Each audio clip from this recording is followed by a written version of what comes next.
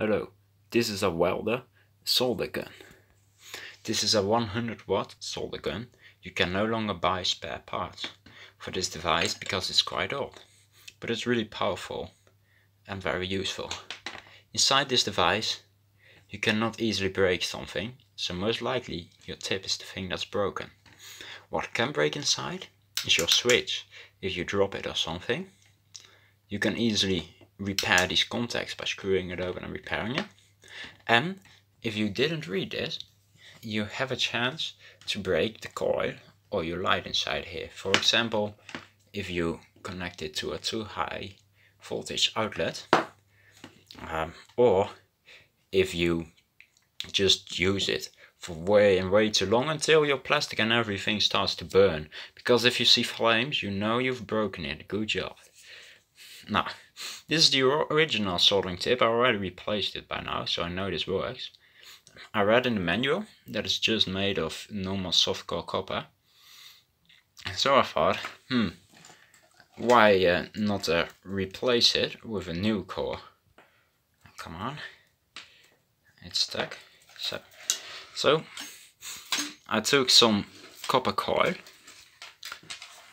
I took around this length and made it a little short because this is thinner wire.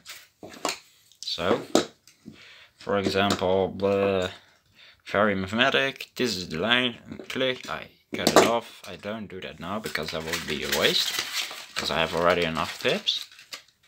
Then you sand it till it's clean. You bend it in shapes you like. You loosen the screws again. Put it in. And you fasten the screws again. And now it works. To uh, test it to test if it works you can always just put some water on it and power the device.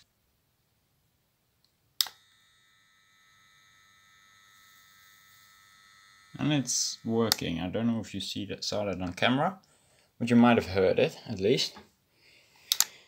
The water evaporate and that shows it works. And if you do it a little longer this coil I made too long actually on purpose to make it colder you can actually see the heat waves around it in oh, and the smoke and the color changing of the metal.